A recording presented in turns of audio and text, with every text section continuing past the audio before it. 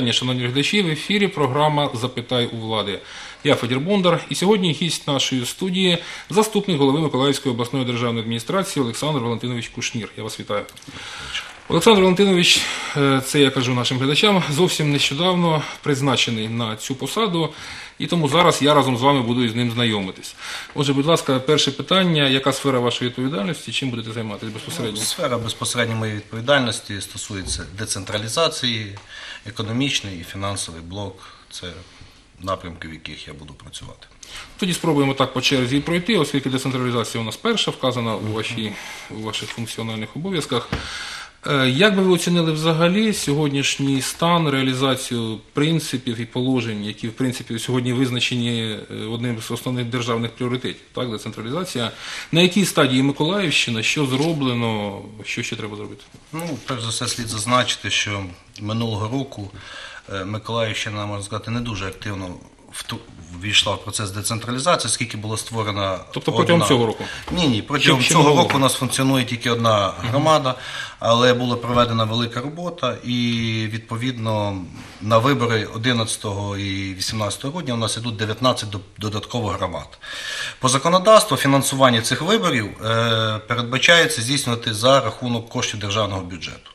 Відповідно, після постанови Центральної виборчої комісії про призначення виборів були виділені кошти, які розпорядженням Миколаївського, голови Миколаївської обласної державної адміністрації були розподілені між місцевими бюджетами.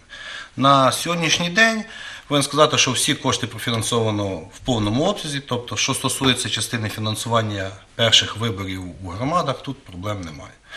Е, Відповідно, зрозуміло, що така значна кількість показує, що є позитивні зрушення від децентралізації, які бачать, і громади більш активно починають вступати в цей процес. Ну, в принципі, не секрет, що е, далеко не всі ще переконані на місцевому рівні у необхідності децентралізації. Ми знаємо, що за е, зразок взята польська модель. Наскільки там ефективним став цей процес? Ще раз, от я до вас звертаюся, як той, хто сумнівається, наприклад, Е, в чому необхідність, чому саме це потрібно робити, і чим це допоможе місцевим громадам? Ну, перш за все, я хотів би відмітити, що немає моделі одної, щоб можна було взяти, яка спрацювала в одній країні, і повністю її поставити на іншу країну. Так, за основу була взята польська модель, але потрібно зазначити, що вона не була одноразово введена. В них цей процес також йшов дуже довгий період, до 10 років. Спочатку вони створили саме нижні гміни, так звані, це у нас як будуть можна сказати, саме нижчий рівень це громади, які далі вони зрозуміли, що їм потрібно ввести і воєводство, і повіти. Це було пов'язано перш за все з тим, що м, йшов розподіл повноважень і доходів, які найбільш ефективно доходять до людини. Тобто, коли вони побачили, що якісь послуги безпосередньо громадянам краще надавати на найнижчому базовому рівні, то віддали були повноваження туди. Якщо є певні напрямки, які кращі по аналогії на нашому районному, залишили так.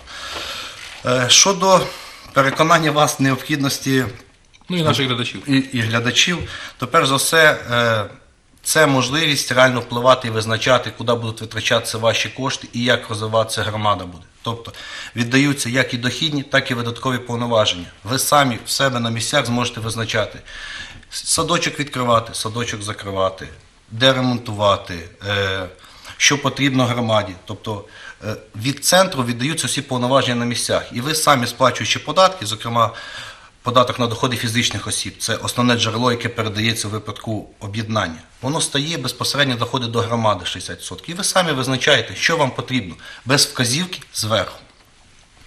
Зрозуміло, що люба реформа визиває скептицизм у людей. Він пов'язаний, можливо, з острахом, що до, до змін якихось. Е, але тільки якби йдучи цим шляхом, показуючи позитивні результати перші, тільки так можна переконувати людей, коли вони побачать вже перше, що там відремонтували дороги. Там відкрили новий дитячий садочок, там вистачає коштів на одно, друге, третє. Вони самі захочуть йти до цього об'єднуватися. Тільки таким шляхом. Ну, те, що в принципі лякає зазвичай людей, коли планується навіть будь-яка адміністративна реформа, це те, що той же лікар, то той же якийсь е, службовець, е, печатка якого може знадобитися людині, він тепер буде знаходитись не в селі і навіть, можливо, не, не поруч десь в районі, а геть в іншому місці, і до нього важко буде діставатися. І з цим як планується? Ну розумієте, сама реформа е, децентралізації об'єднання громад передбачає доступність послуг ближче до населення. Тобто, коли обирається адміністративний центр, який буде, він е, обирається на відстані доступній для людей. І вони вже будуть визначати, е, об'єднувати інфраструктуру між собою, покращення доріг, щоб було. Воно не буде на таких великих досягненнях мегаполісних, як, вважається там м, люди, за чого можуть переживати. Ну і, мабуть, будемо сподіватися, що і дерегуляція до чогось таки приведе, що менше буде необхідних таких дозвілів і документів. Ну, звичайно, і дозволів. І коли ці повноваження певні передаються на базовий рівень, то вже місцева влада в деяких моментах зможе їх регулювати. Потрібно зазначити, що якщо громада об'єднується, то вона переходить відповідно до перспективного плану. Вона переходить на прямі міжбюджетні відносини з державним бюджетом. Тобто їй безпосередньо передбачається в залежності від рівня, там базова, реверсна дотація. Вони мають право на отримання, от в поточному році у державному бюджеті була субвенція на розвиток е, інфраструктури громад в розмірі 1 мільярда. На наступний рік ця сума передбачається збільшити. Кінцевий обсяг вже ми побачимо, коли проголосується Верховною Радою проєкт бюджету. Ну, ця сума збільшується. Тобто держава е, показує і готова вкладати кошти в громади, в їхню самоорганізацію, їхню розбудову, щоб вони самі брали на себе повноваження і відповідно, що потрібно, щоб не зверху їм казали. А люди безпосередньо на місцях самі будуть визначати. Люди розумні, вони знають, що їм потрібно. Е, З 19 об'єднаних громад, які вже створені на Миколаївщині, наскільки я пам'ятаю, лише дві відповідають всім вимогам процедурним. І в чому там криються ці подробиці, і що загрожує тим, хто не відповідає повною мірою? Ну, виходить так, що у нас чинне законодавство передбачає, що участь в грантах, отримання коштів мають тільки ті громади, які об'єдналися відповідно до перспективного плану. Зрозуміло, що коли затверджувався першочергово цей перспективний план, всі намагалися зробити як краще. Так? Тобто передбачити, щоб одна громада, один район. Ну, але життя диктує свої корективи. Десь громадяни саме вирішують, де їм бажано об'єднатися. І відповідно вони вирішили об'єднатися чуть інакше, ніж було передбачено. Тобто вони не відповідають якимось вимогам Вони, територіальним е, було- за кількістю населення. Ні, вони, в принципі, є у них певні, скажімо так, що можливо вони не в повній мірі відповідають цим чітким критеріям, які передбачалися до перспективного плану, але в той же час е, вони об'єдналися, вибори в них пройдуть, вони стануть громадами. І зрозуміло, що їх потрібно в цьому підтримати. Тобто вони вже об'єдналися, щоб вони побачили, щоб вони отримали доступ до ресурсу, щоб вони отримали доступ до певних грантів. От е, дуже гарне джерело. От у нас є такий е, в Україні проект, зайшов добре підтримки е, місцевих громад, які створюються. І, зокрема, в нашій області три громади перемогли. Туди будуть вкладені кошти. Тобто громади, які створюються, туди прийдуть як технічна допомога. USAID фонду здається. Е, да, USAID, там, де вони відбирають громади по, всій, по семи регіонах і в три етапи. Перший етап вже пройшов, і у нас три громади вийшли. Вони будуть надавати як технічну допомогу, тобто зрозуміло, що потрібна допомога їм е, безпосередньо в роз'ясненні їхніх можливостей, їхнього потенціалу, їм об'яснити, можливо, не все люди розуміють. Так і допомоги в вигляді коштів на розбудову їхньої інфраструктури. І це, безперечно, буде поштовхом. Е, немає кращої, як би можна сказати, реклами, ніж безпосередньо, коли відбувається робота. Тобто, коли один населений пункт буде бачити, що буквально через 100 метрів відбувається зовсім інша ситуація, що в них якісні дороги, що в них е, садочки достатні. Це буде їх зацікавлювати. То вони будуть уже дооб'єднуватися. Це може, тобто подальший процес передбачає, що можна дооб'єднатися, доукрупнитися. І, можливо, з часом вони вже стануть так, як вони природньо їм буде комфортно функціонувати і жити громадянам. Ви вже е, деякі джерела фінансування громад назвали. Ось є проекти міжнародні, є, напевно, плани якісь із державного бюджету фінансування більше чи менше. А ще основа, вони ж не можуть бути постійно дотаційними. Передбачається, що вони мають бути самодостатніми, хоча б на якийсь Ну, дивіться, тут є декілька, можна сказати, механізмів. Є перший механізм це механізм державної підтримки. У вигляді субвенцій на соціально-економічний розвиток, який передбачається, участь у Державному фонді регіонального розвитку. Це є державна частина. Друга, вони, коли переходять на прямі міжбюджетні відносини, їм передбачається зарахування 60% податку на доходи фізичних осіб, які збираються на їх території. Тобто він до них переходить. Крім того, до них переходять певні повноваження, як в галузі охорони, здоров'я, освіти. Тобто вони самі зможуть це визначати, на які напрямки їм використовувати. Скоротяться адміністративні витрати певні, які не потребуватимуть, ну там, якщо 3-4 громади. Е, Тому, е, крім того, передбачаються е, різного роду проекти, в яких вони зможуть брати участь і безпосередньо отримати фінансування. Тому, як на мене, от я вам скажу, що навіть громади, які не зовсім це, вони щонайменше вдвічі зможуть збільшити свій бюджет тільки в перший рік за рахунок от, додаткових надходжень, які в них будуть передбачені.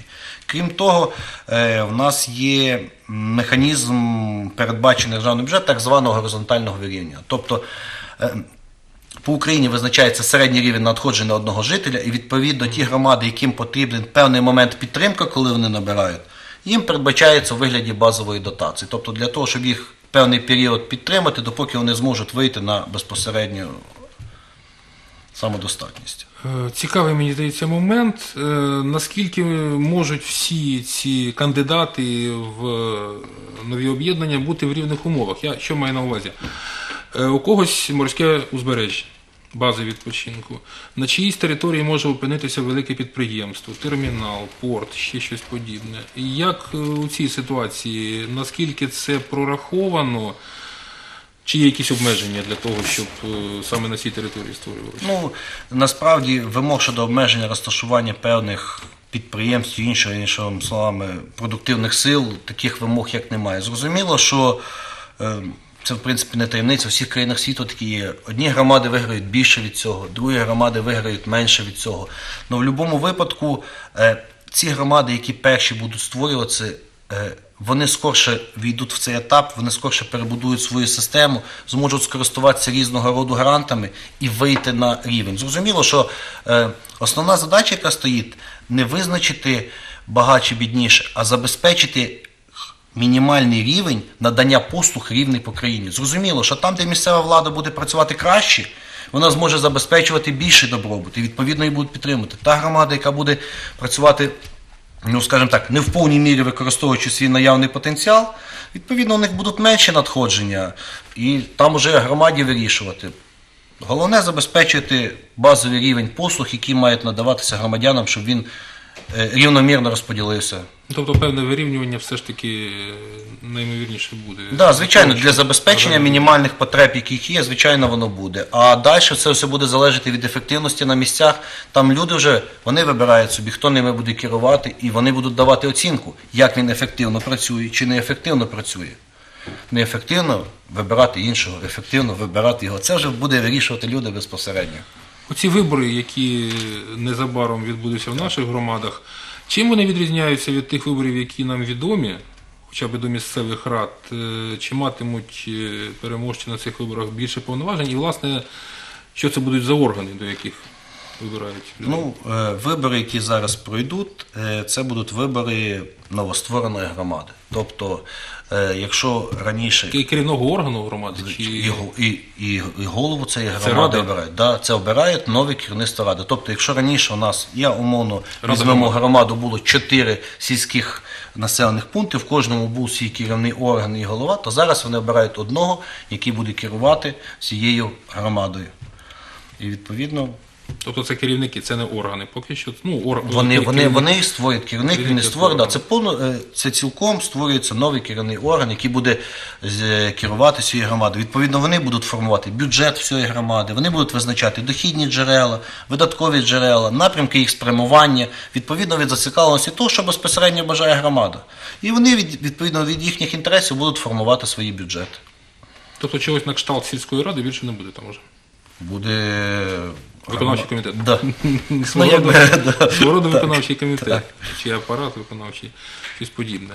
Зараз в області 19 таких громад. Ну, е, 20. Одна просто є вже у нас вже вже вона функціонує в цьому році, вона дооб'єднується, а 19 це новий. Так.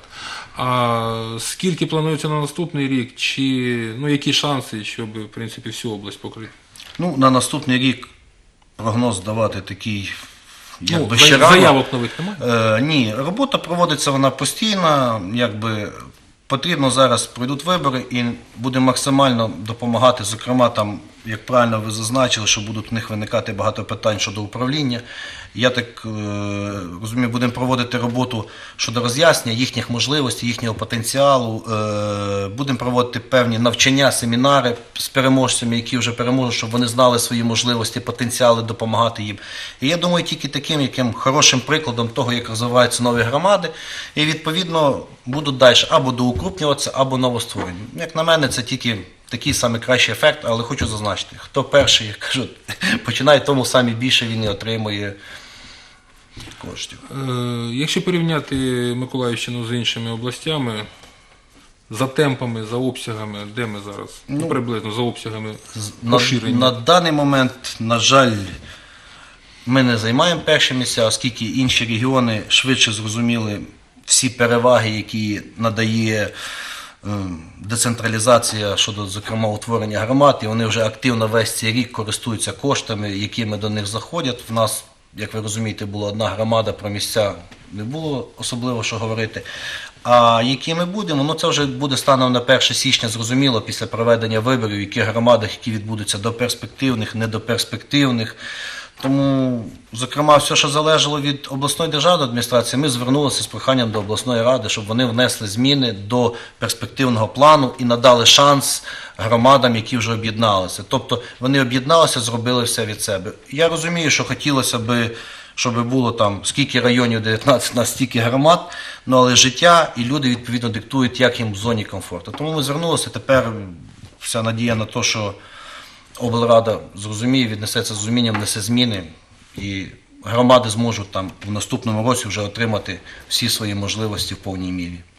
Ви щойно згадали про важливість роз'яснювальної роботи і в цьому питанні, і в інших. Ну і я сподіваюся, що взагалі ваша команда буде достатньо увагу цьому приділяти. В принципі, сьогоднішня наша бесіда це свідчення того, що можливо, е, чого не, не вистачає для того, щоб е, більше знали громадяни про можливості свої, про можливості державних органів. Ну, Знаєте, за цей недовгий час, поки що я перебував на Миколаївщині, я дійсно стикнувся з таким питанням, що основні, як називають люди, проблеми, це є проблеми того, що їх недостатньо інформують. Тому, е, якби. Планується, що ми на цю діяльність передбачимо кошти для того, щоб люди розуміли, які в них є можливості, як вони їх можуть використовувати, е, на що вони можуть впливати, що можливо вирішити без особливих проблем. Тому що є такі певні питання в їхній діяльності, які вони можуть вирішити в себе на місцевому рівні, але просто до них не доноситься достатньо ця інформація.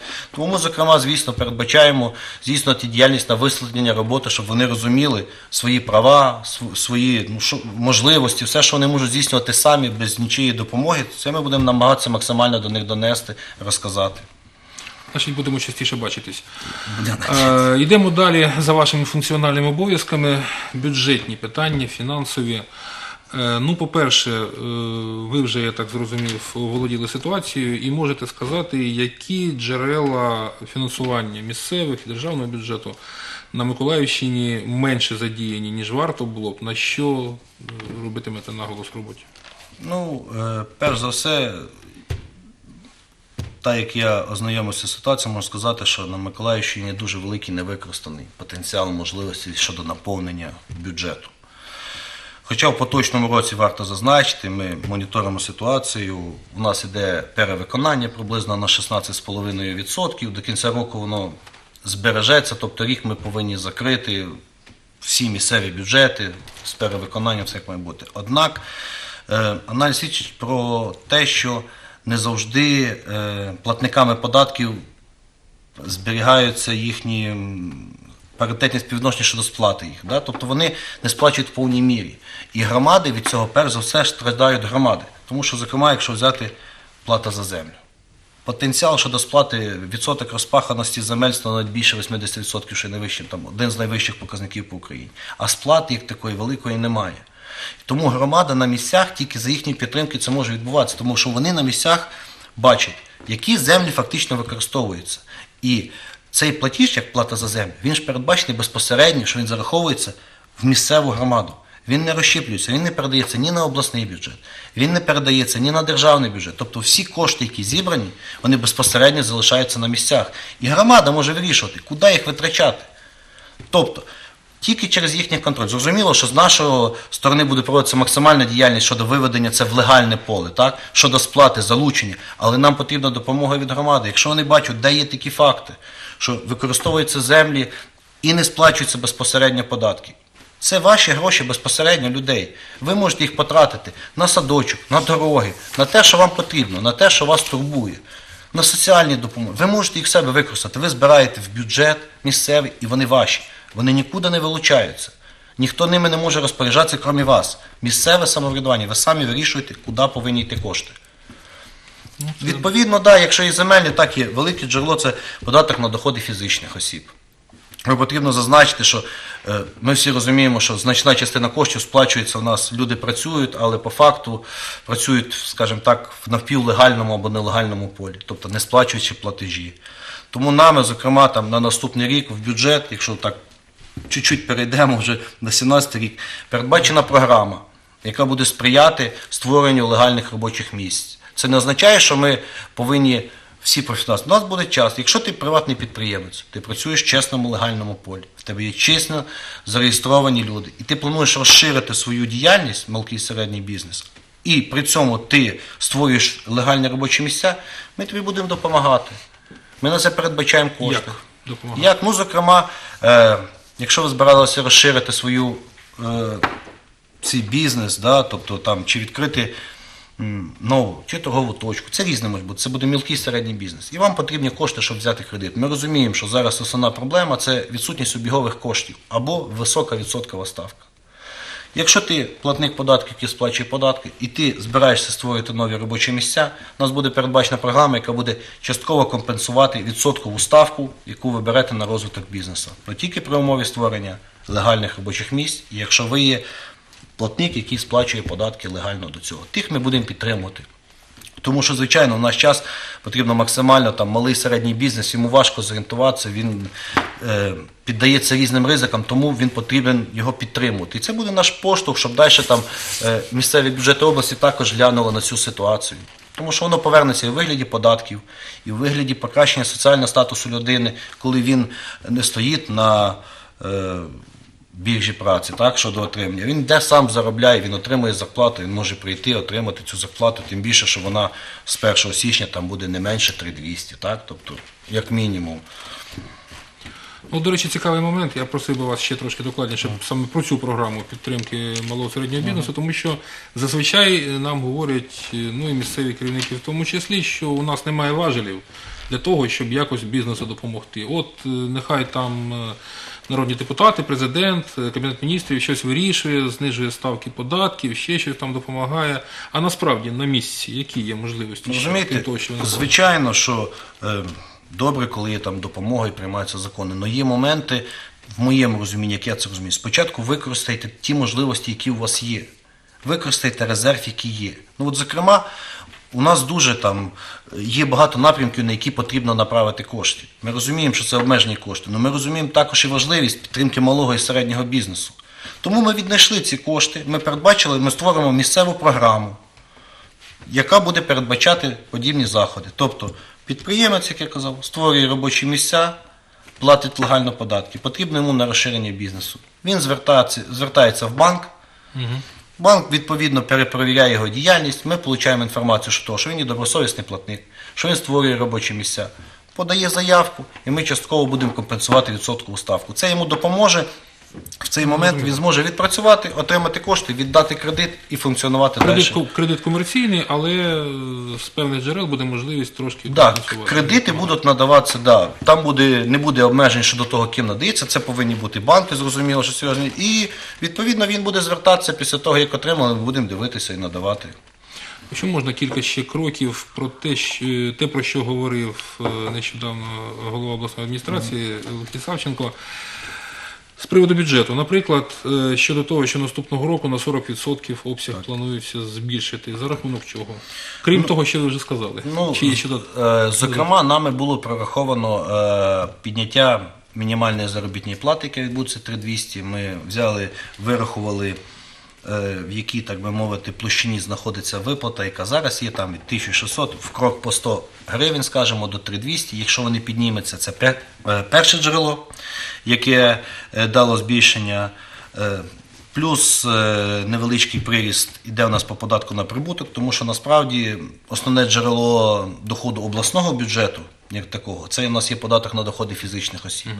І відповідно, звично, звичайно, це здійснення заходів щодо легалізації виплати заробітної плати, тому що іншого шляху нема, потрібно наповнити бюджет, ці кошти назад і вернуться людям. До речі, що стосується цього підвищення мінімалки е, вдвічі, е, у вас є впевненість, що всі фізично зможуть це зробити, в тому числі малі підприємці? Ну, я так розумію, що це питання давно вже воно дійшло, що виплати заробітної плати приблизно на такому рівні йде. Минулого року уряд пішов на зустріч, знизу єдиний соціальний внесок суттєво, зняв навантаження.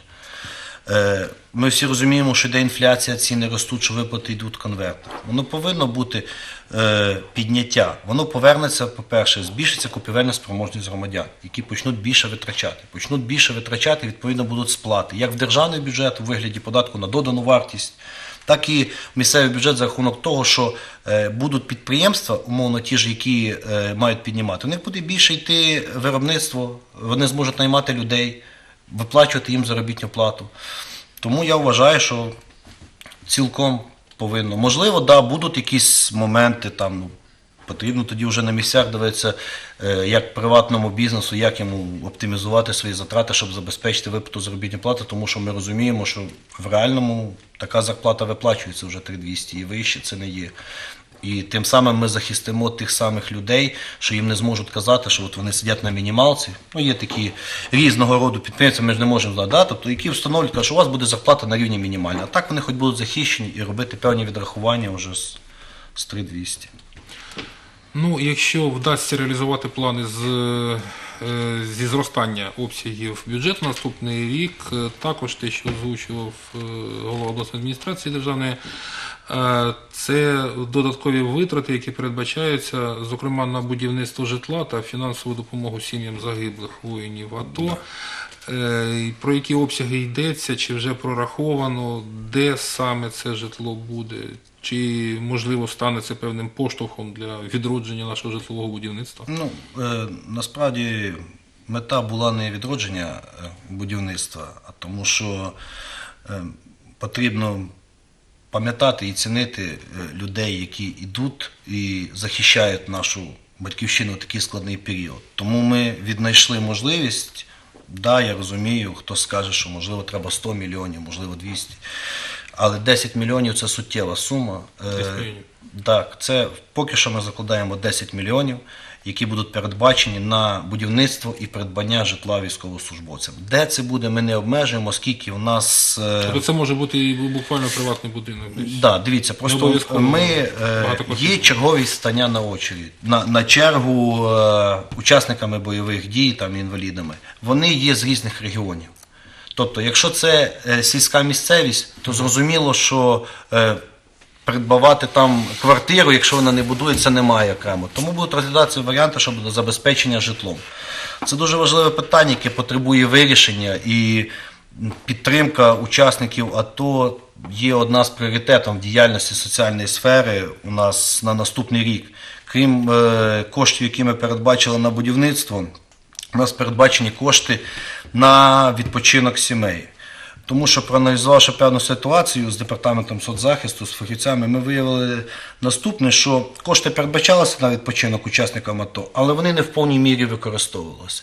Коли дослідили глибше, виявилося, що хотіли сім'ями відпочивати, що є зрозумілим. Тобто він сам не хотів їхати, а сім'єю якби був готовий. Тому у нас перше ми передбачили кошти, щоб міг не тільки сам учасник антитерористичної операції, а разом зі своєю сім'єю відпочити.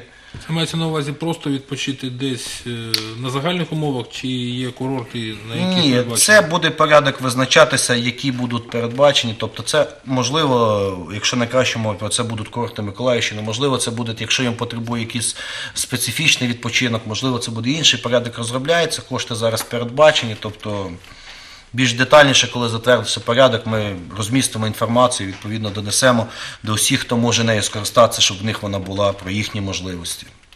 Ну і щодо допомоги е, сім'ям загиблих. Да, ми передбачили на наступний рік кошти, одноразова допомога, е, виплата сім'ям загиблим, щоб хоч якось їх підтримати в межах наявного ресурсу. 10 тисяч гривень ми плануємо виплатити кожній сім'ї для підтримки їх. Я вам дуже дякую за цю першу поки що бесіду, але я впевнений не останню. Ще є теми, які ми можемо з вами обговорити. І, мабуть, щодня у вас буде більше інформації, та у нас буде про що поговорити. Дякую вам, Дякую дякую вам. глядачам, усім, хто був з нами.